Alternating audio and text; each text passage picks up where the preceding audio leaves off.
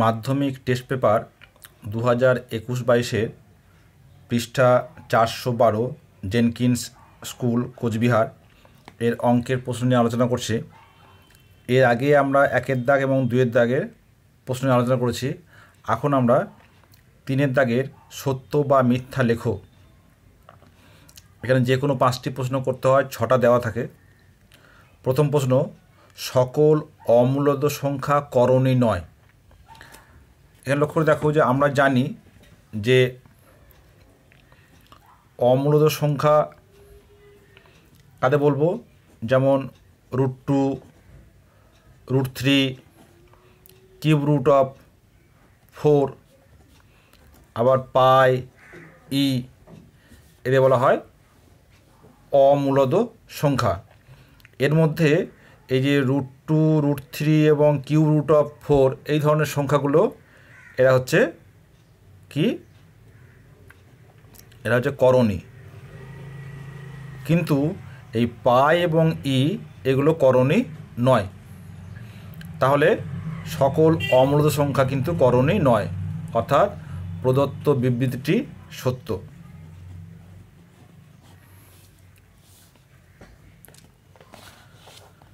এ প্রসঙ্গে বলে রাখি যে সকল অমূলত সংখ্যায় করণী নয় এবং সকল করণী অমূলত সংখ্যা, এই নিয়ে আমরা একটা বিস্তারিত আলোচনা আমাদের ইউটিউবে আছে। তোমাদের যদি প্রয়োজন হয় তাহলে সেটাও দেখে নিতে পারো।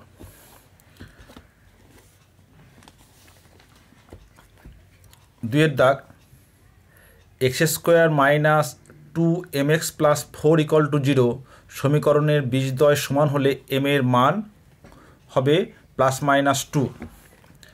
এখানে লক্ষ্য করে দেখো যে প্রদত্ত যে সমীকরণ দেওয়া আছে, x square minus two m x plus four equal to zero. দেখো এখানে আমরা লিখতে পারি যে এক্স মাইনাস টু, আর যেখানে এম দেওয়া আছে, তাহলে এ করি, ইহার নিরূপক, ইহার নিরূপক b square minus four ac তাহলে মাইনাস টু এম এর whole square minus four into one into c equal to zero তাহলে four m square equals to four into four একটা ফোর কেটে যাচ্ছে, তাহলে m equals to plus minus root over four equal to plus minus two তাহলে ওদের প্রদত্ত বিবৃতিটি সত্য।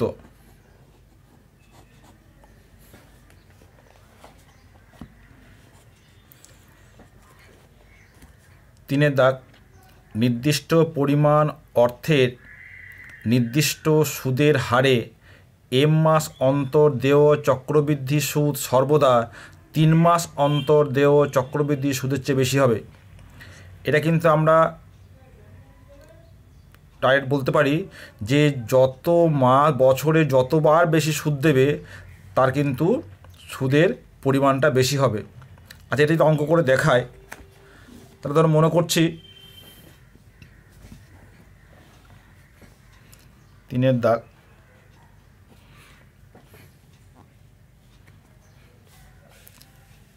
যে মনে করি আসল হচ্ছে পি এখানে সময় আমরা টি ছ মাস নিচ্ছি। মানে একের দুই বছর। তাহলে ছ মাস অন্তর দেয় চক্রবৃদ্ধি সুদ, কত হবে? সুদ আচ্ছা সুদ প্লাস আসল, কত হবে? পি ইন্টু ওয়ান প্লাস ছ মাস অন্তর সুদ যেমন বছরে দুবার r by two into hundred whole to the power two into আমরা এনেছি, একের দুই। আচ্ছা সুদের হার ধরে নিই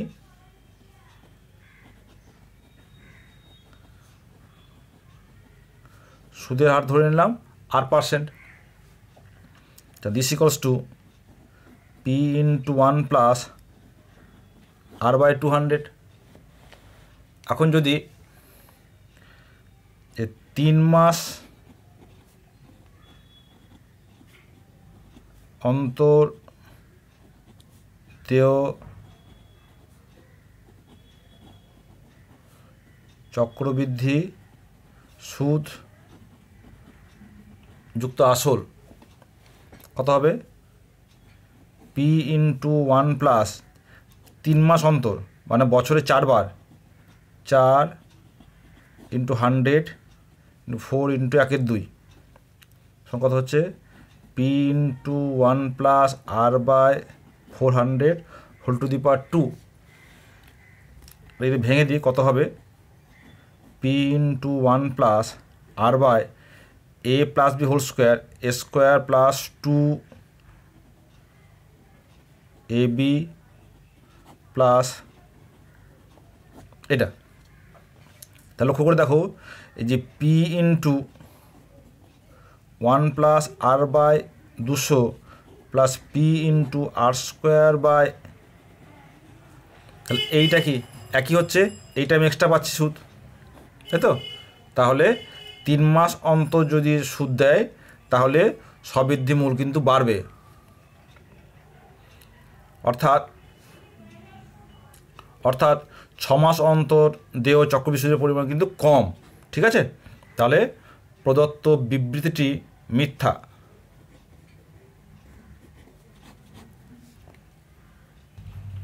চারের দেখ কোনো ব্যবসাতে এ বি সি এর মূলধনের অনুপাত one by x is to one by y is to one by z বছরের শেষে ব্যবসাতে ইউ টাকা ক্ষতি হয়েছে সি এর ক্ষতির পরিমাণ। তাহলে প্রথমে যেটা দেওয়া আছে যে মূলধনের অনুপাত এ বি ও সি এর মূলধনের অনুপাত কী দেওয়া আছে? One by x is to one by y is to one by z তাহলে আমরা যদি সবগুলোকে এক্স ওয়াই জেড দিয়ে গুণ করে দিই তা কত হবে? Y z x z x y আমরা জানি লাভ বা ক্ষতি সবসময় এই মূলধনের অনুপাতেই বন্টিত হবে। অতএব সি এর ক্ষতির পরিমাণ আচ্ছা মোট ক্ষতি কত? ইউ, অতএব সি এর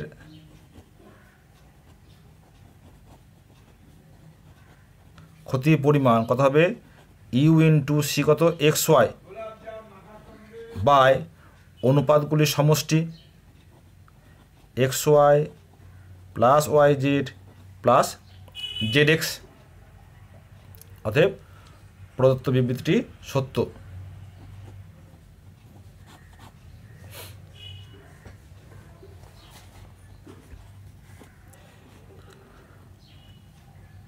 পাঁচের দাগ দুটি শঙ্কুর উচ্চতা সমান হলে তাদের আয়তনের অনুপাত ব্যাসার্ধের অনুপাতের সমান।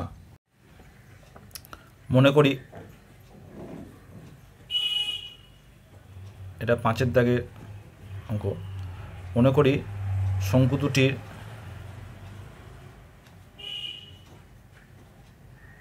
শঙ্কু দুটির উচ্চতা হচ্ছে এইচ এবং ব্যাসার্ধ হচ্ছে আর ওয়ান ও আর টু অতএব তাদের আয়তনের অনুপাত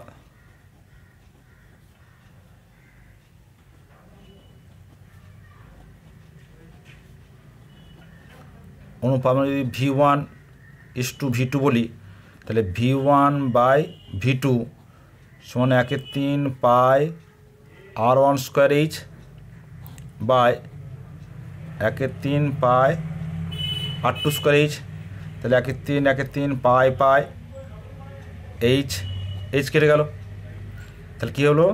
তাহলে আয়তনের অনুপাত হচ্ছে r one square by r two square তার মানে ব্যাসার্ধের বর্গের সঙ্গে সমানুপাতিক। ঠিক আছে? তাতে প্রদত্ত বিবৃতিটি মিথ্যা।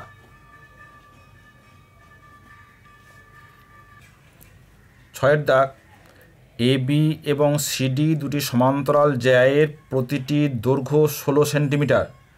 বৃত্তের ব্যাসার্ধের দৈর্ঘ্য দশ সেন্টিমিটার হলে জ্যা দুটির মধ্যে দূরত্ব হবে পাঁচ সেন্টিমিটার। ঠিক আছে? ছবির অঙ্কটা করি। এখানে লক্ষ্য করে দেখো দুটি বৃত্ত, দুটি ব্যাসার্ধই, এই দুটি জ্যা কিন্তু বলছে সমান্তরাল এবং একই দৈর্ঘ্যে। তার মানে দুটি জ্যা কিন্তু কেন্দ্রের দুদিকে থাকবে। একই দিকে দুটি সমান্তরাল জ্যায়ের দৈর্ঘ্য সমান হতে পারবে না। তাহলে মনে করছি যে এ বি এবং সিডি এই দুটো জ্যা আছে যাদের দৈর্ঘ্য হচ্ছে ষোলো সেন্টিমিটার। এখন কেন্দ্র থেকে জ্যায়ের ওপর যদি লম্ব টানি সেটা কী করবে? জ্যাকে সমদ্বিখণ্ডিত করবে। তাহলে পিবির দৈর্ঘ্য হবে কত? এইট সেন্টিমিটার কেন?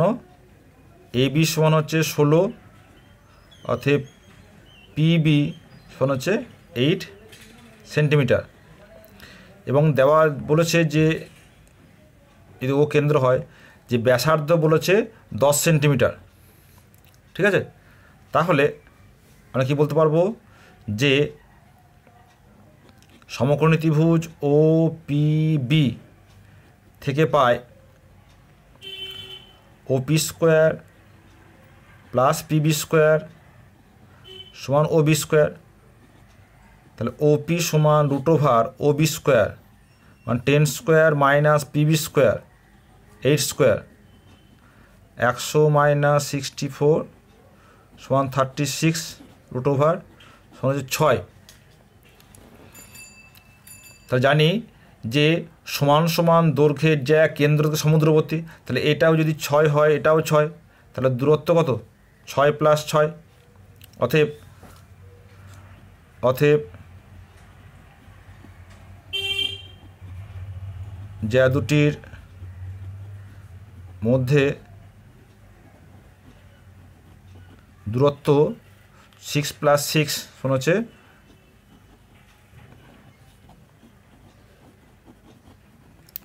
বারো সেন্টিমিটার।